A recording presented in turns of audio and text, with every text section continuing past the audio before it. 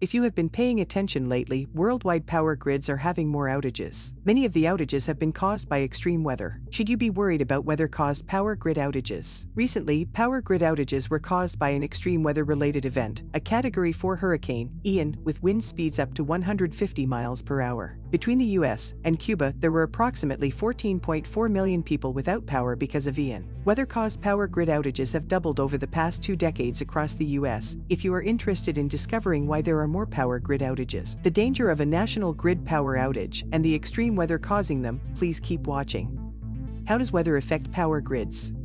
Category 5 hurricanes are rare, and only five have hit the United States in its history. 11.4 million people lost power from Category 4 Hurricane Ian that hit Cuba and the U.S. between September 27 and 30, 2022. Nearly 310,000 homes and businesses did not have power in Florida the following Wednesday, a week after Hurricane Ian decimated large parts of the state and the power grid. In areas like Fort Myers Beach and Sanibel in southwest Florida, where Ian made a direct hit, it may be weeks or months without power because electrical distribution lines need to be rebuilt. This is a classic example of the predictions and results of extreme weather in the world's power grids. It doesn't matter if it is from phenomena such as drought, freezing weather, or the polar opposite in a tornado or a hurricane. The world's power grids suffer from age, overuse, stress, and overpopulation. Utility companies often utilize rolling power grid blackouts to maintain power when all other emergency measures have failed to avoid a total grid shutdown. Power grid shutdowns can cause death in the event of extreme weather like a cold or a heat wave. Texas power grid blackouts. Frozen electrical lines and metal pole during the 2021 Texas power grid blackouts.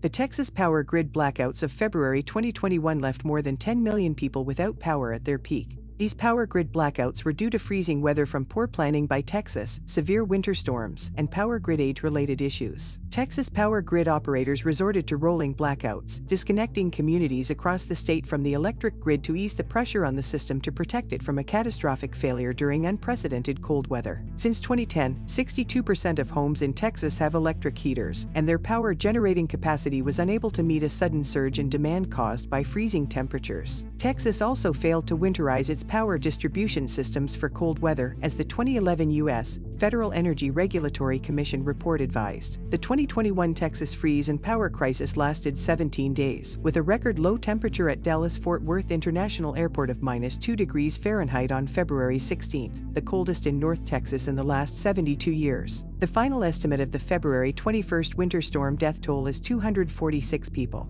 Why is the power grid struggling?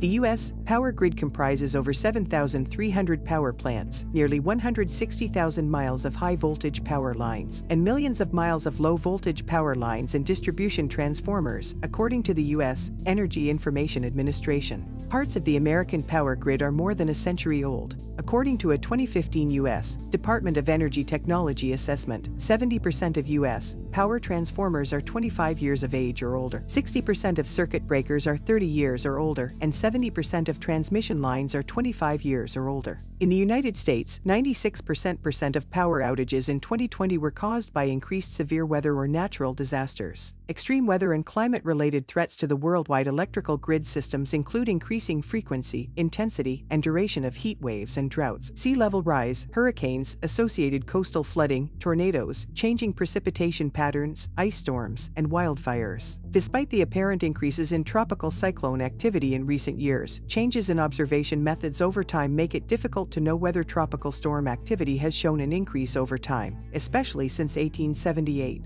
U.S. Department of Energy Electric Disturbance Events the U.S. Department of Energy collects information on electric disturbance events that affect the U.S. power grids with the Emergency Incident and Disturbance Report Form 0417. This allows them to collect information on electric incidents and emergencies throughout the United States by the utilities and entities reporting themselves. The Department of Energy uses the information to fulfill its overall national security and other energy emergency management responsibilities and for analytical purposes.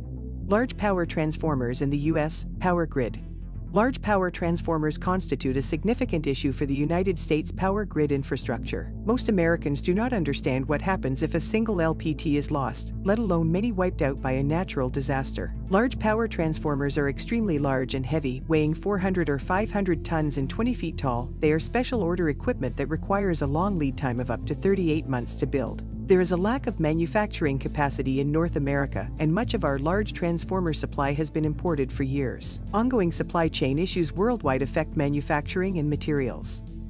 U.S. Electrical grid transformer supply chain problems. In 2020, the U.S. Department of Commerce Bureau of Industry and Security Office of Technology Evaluation created a report titled The Effect of Imports of Transformers and Transformer Components on National Security, which says that large power transformers are among the most critical elements of the United States bulk power system. Securing the United States bulk power system noted that as the backbone of our nation's energy infrastructure, the bulk power system is fundamental to national security, emergency services, critical infrastructure, and the economy. U.S. electrical utilities across the country have been facing multi year supply chain issues since the pandemic and shortages of electrical equipment and transformers. Large orders for pad mounted transformers, which typically took between 6 12 weeks to fulfill in 2020, now have 52 86 weeks lead times. Without a stable power grid and energy supply, the United States' health and welfare are threatened, and the economy cannot function. 16 critical sectors of the U.S. economy that cannot operate without large power transformers. The U.S. Cybersecurity and Infrastructure Security Agency says that the energy sector is the most critical because it is required for all critical infrastructure sectors. This is especially true of the top four, which are energy, communications, transportation, and water. 16 critical sectors of the U.S. economy chemical, commercial facilities, communications, critical manufacturing, dams, defense industrial base, emergency services, energy, financial services, government facilities, healthcare and public health, information technology, nuclear reactors, materials and waste, transportation systems, water and wastewater systems, food and agriculture. The average age of large power transformers in U.S. power grids is 38 to 40 years old. Because a single one is about two and a half times as heavy as a house, you don't just go pick one up at Home Depot. Coast to Coast Blackout Federal Energy Regulatory Commission report. According to the U.S. Department of Energy, over 90% of the electricity consumed in the U.S. passes through large power transformers. If several LPTs were to break down simultaneously, either from severe weather or terrorism, it would be extremely difficult to replace them for months or years. According to the FERC analysis, a 2014 Federal Energy Regulatory Commission leaked a report in a Wall Street Journal article and found that the U.S. could suffer a coast to coast blackout, and indicates that knocking out only nine key U.S. substations could plunge the country into darkness for weeks, months, or possibly years. If several sections of the American grid go down simultaneously, the shutdowns can cascade into rolling blackouts. A scenario such as this set off the Great Northeast Blackout in 2003, when 21 power plants shut down in just three minutes, leaving approximately 50 million people without power. What happens if the American power grid goes down?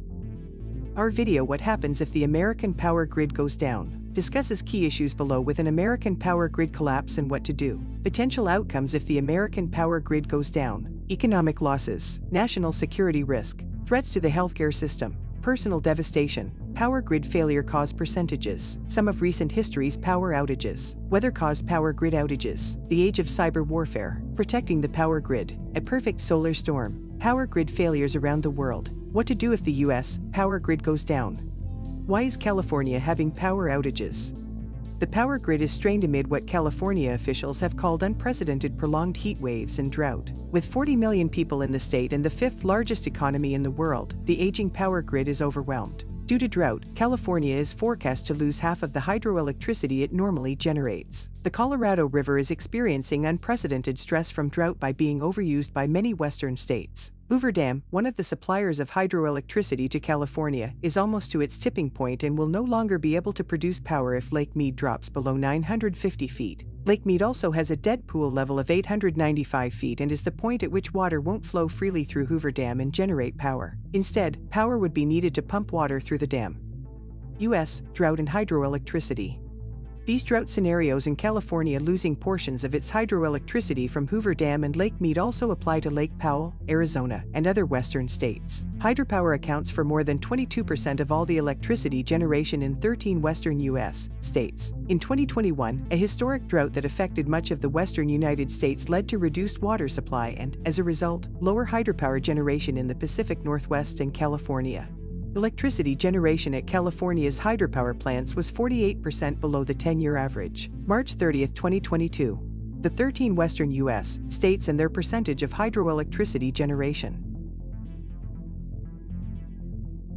Paleoclimatology Paleoclimatology is the study of the Earth's climate history. Paleoclimatology data is attained from sources like ice sheets, glaciers, tree rings, shells, microfossils, corals, stalagmites, and ocean and lake sediments. In the United States today and the Western world since the 15th century, we have focused on a growth economy on a finite planet. The growth economy goal has always been building cities and housing and maintaining growth. Unfortunately, with continued growth and building in places like the current overpopulated U.S., desert southwest and west coast, we also have another drought, as indicated in our paleoclimatology history records. Drought is cyclical through history and will always come and go, but the difference is 8 billion people on the planet by the end of 2022. It may be hard for some to grasp that 6 out of 10 people don't have access to flushing toilets, but that is still 3.2 billion existing toilets and growing every day. We also see issues from our past, like overpopulation in places like the US, Four Corners region and the paleoclimatology history of the Anasazi Indians in places like Mesa Verde and Chaco Canyon.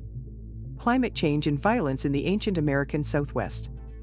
Paleoclimatology, dendrochronology, and archaeological records show that between 900 to 1500, Severe droughts were devastating to the Anasazi and other Native American civilizations in the southwestern U.S. The lack of rain, depleted and eroded soils, deforested mountains, and overhunted wildlife all contributed to widespread starvation. Archaeological evidence indicates that from the late 1200s until the 1500s, the Anasazi were continually at war with one another. The Anasazi Indians fought for control of watered farmlands and for access to wild food resources. These scenarios may sound familiar or may be in our future due to weather issues. It is directly relatable, as history shows, and is congruent to our current situation in the United States and the precarious position our weather and the national power grid put us in. Current megadrought in the American West and stress on the power grid. The megadrought in the American West has generated the driest two decades in the region in at least 1,200 years. Droughts typically last around 20 years, but paleoclimatology shows us that droughts can last 200 to 300 years. In the United States, the longest 20th century droughts covered 60% or more of the contiguous United States at its peak and lasted 99 months or longer. 1930s Dust Bowl drought, July 1928 and May 1942. 1950s drought, July 1949 and September 1957. Early 21st century drought, June 1998 and December 2014. The Southwestern North American megadrought, June 2000 to present day. Space weather and the power grid. When we think of the weather, we don't necessarily relate it with space weather or the sun, but we should. The sun has a dramatic effect on our planet's weather and climate. There are geomagnetic storms and effects from how close the sun is to Earth in its cyclical synchronous ever-changing orbits. Geomagnetic storms are naturally occurring events. When it comes to the world's electrical power grids, it is not if, but when a G5 or greater geomagnetic storm hits our planet and shuts the power grids down globally. G5 or greater magnetic storms have happened before and will happen again. It is important that human society as a whole is working towards preparedness for such an event, especially with our global power grids, which we most assuredly are not. Is the US power grid ready for electric vehicles? Suppose we are barely keeping the U.S. power grid running as it is in many areas due to bad weather and drought, especially in California. How will the added load of electric vehicles be accounted for in the future? California and New York are trying to outlaw gas-powered engines in vehicles by 2035. We wholeheartedly believe in climate change and global warming, but these people might want to pump the brakes on outlawing gas vehicles depending, of course, on the condition of the U.S. power grid. Wind and solar power are great ideas but, in practice, are undependable and have had some dramatic, expensive failures in recent years. It does not mean to stop planning and moving forward. There are way too many issues with the U.S. power grid to depend on it for charging electric vehicles as a sole source of transportation. There are approximately 290 million U.S. vehicles in 2022, and there will be way in excess of 300 million vehicles in 2035. Even if you were to take 20% of 300 million US vehicles and make them electric, that would be 60 million electric vehicles being charged daily 24 7 by the US power grid. I think we need a reality check. Final thoughts Should you be worried about weather caused power grid outages? Yes, weather caused power grid outages have doubled over the past two decades across the U.S. Severe weather, like drought, tornadoes, hurricanes, and freezing weather, is directly affecting the world's power grids that suffer from old age, overuse, stress, and overpopulation. U.S. electrical utilities across the country are facing multi year supply chain issues that directly affect the production of large power transformers. There is a shortage of these transformers and electrical supplies, which are critical to the operation of the U.S. power grid. U.S. droughts and the possible reduction of hydroelectricity directly affect 13 western U.S. states and are getting progressively worse over time. Eventually, some hydroelectric dams in the west, like Hoover Dam, may stop producing electricity altogether. Space weather and geomagnetic storms from the sun are also ever present real life dangers that most people are not aware exist. One G5 or greater geomagnetic storm could shut down the planet's power grids for weeks, months, or years. We need to focus as a global community on repairing and updating the planet's power grids to make them resilient against the ever changing extreme weather, susceptibility to terrorism, and overuse before it is too late.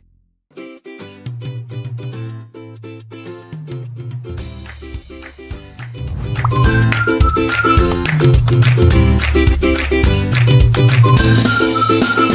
ト